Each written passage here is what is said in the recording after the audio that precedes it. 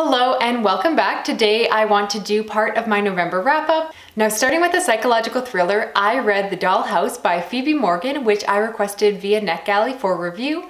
I buddy read this with Lisa from Books and Smiles. This is about a woman who is going through infertility treatment. She's been trying for years with her husband to have a baby. And the book starts with her failing yet another IVF treatment. And at the beginning of the story, she comes across a piece of a dollhouse, which appears to be the same dollhouse that she had as a child. She initially takes this as a very good sign.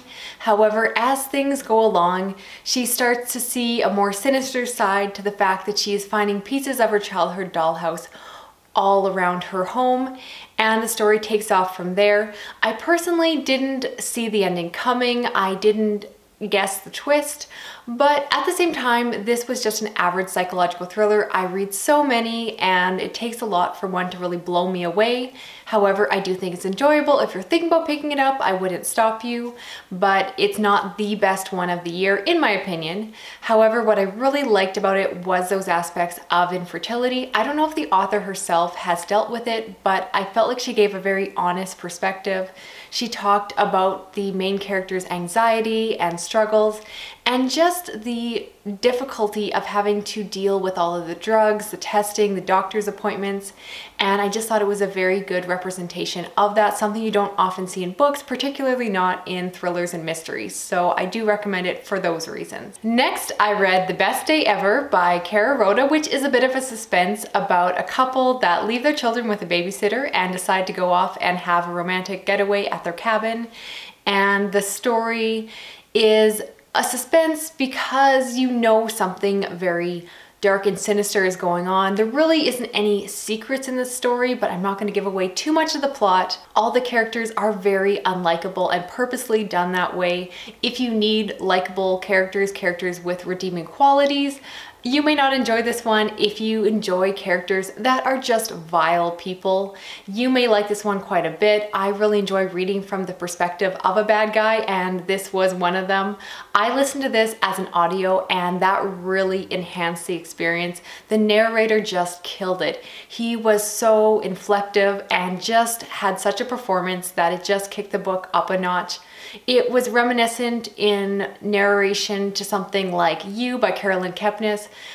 in the fact that while this book was probably just average for me, because I read it as an audio, I actually probably rated it higher because of that. So if you're gonna pick it up, I definitely recommend picking up the audio version. However, I was disappointed by the ending. While again, it's not meant to be a twist or turn, you really know what's going on very early on. I felt that the author made the mistake of changing the tone later into the book and turning it from this entertaining ride to something very serious. And by doing so, it just changed the kind of book it was. It no longer read like a thriller, but instead read like a very sad contemporary. And that's just not the kind of book I thought this was. So I enjoyed parts of it. If you're gonna pick it up, try to get the audio. And it was fun in places, but not quite perfect for me. I wouldn't give it five stars, but I know other people did, so if you're interested in checking it out, definitely do. Now switching gears to science fiction, I read Artemis by Andy Weir, which I received via NetGalley. I did a separate review on this like so many other people, but if you didn't hear it, this is about a young woman named Jazz who lives on the moon. She is a smuggler and gets an opportunity to do somewhat of a heist, which is supposedly gonna make her super rich. Of course, things are never as simple as they seem and the story takes off from there. I did again a longer review, but basically I did not connect very well with the main character. I felt like this book read like a YA book, which for some people isn't a bad thing, but I don't read and enjoy a lot of YA anymore, so it really did detract from my enjoyment of it. And that's something I've noticed in the reviews that have come out that people who read more YA seem to be rating this book higher than people like myself who don't. So I would kind of use that as a marker of whether or not you should pick this book up yourself. There were things I enjoyed about it. It does have some of Andy Weir's humor, but to me, the main character felt a lot more flat. I loved Mark Watney in The Martian, and Jazz was pretty annoying in my opinion. So I somewhat recommend it. I know other people will enjoy it. I didn't hate it. I gave it 3.5 stars, but it was just average. Along a similar note, I read another science fiction thriller crossover, and that was Places in the Darkness by Chris Brookmyre, and I also did a review of this one. This is set in the future where humans have built a space station with the plan of building a generational ship that will eventually move humans to other planets.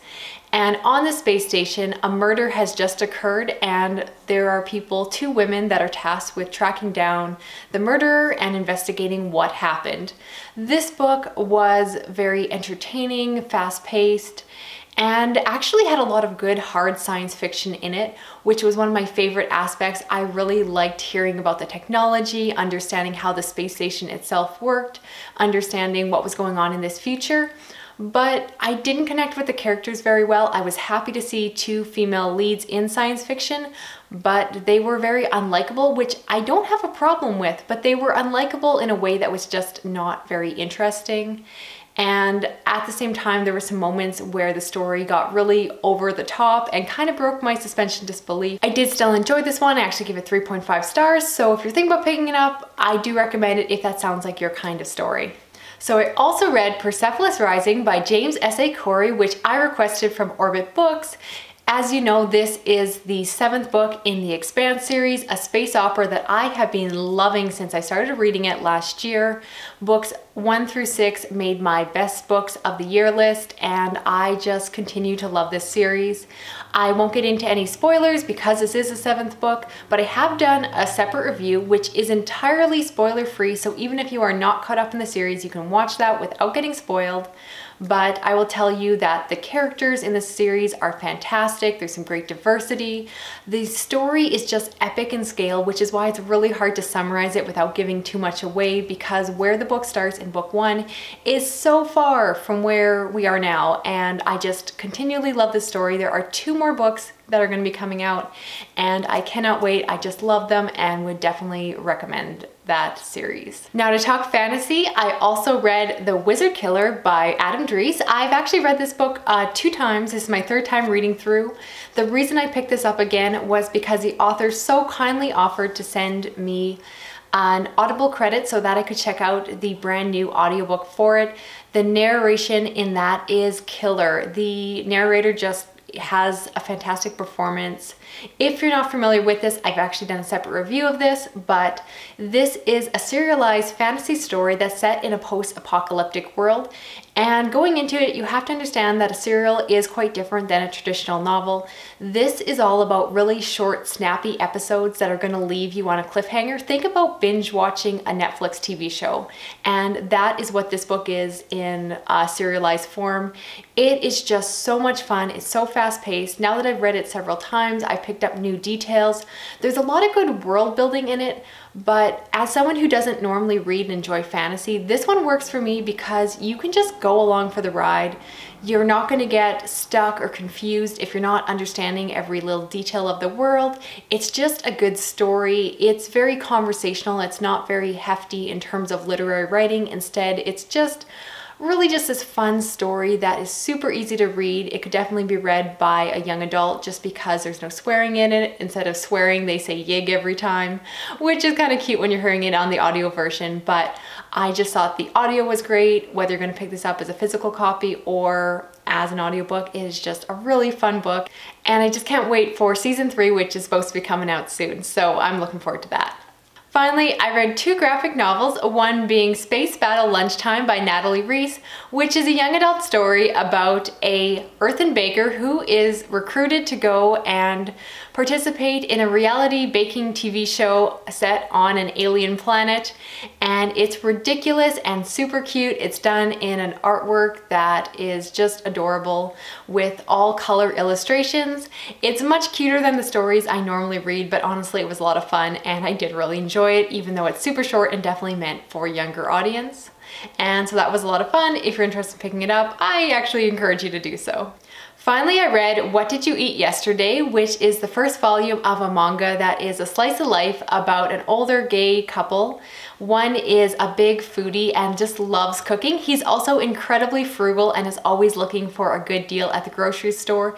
This story is just super cute, very funny. I don't often like these cute slice of life manga, but for whatever reason, this one just worked so well for me. You know that I love Japanese culture, and while I didn't completely understand all of the food they were talking about, it still sounded delicious, and I just need to continue on with this series. I really enjoyed it, so I'm sure you're gonna see more volumes of it in upcoming wrap-ups. So that's it for this video. As always, leave comments down below as well, like, comment, subscribe, and please do follow me on Goodreads, Instagram, and Twitter. I'd love to hear more about the books that you read in the month of November, and I will talk to you again soon. Thank you so much for watching. Okay, bye.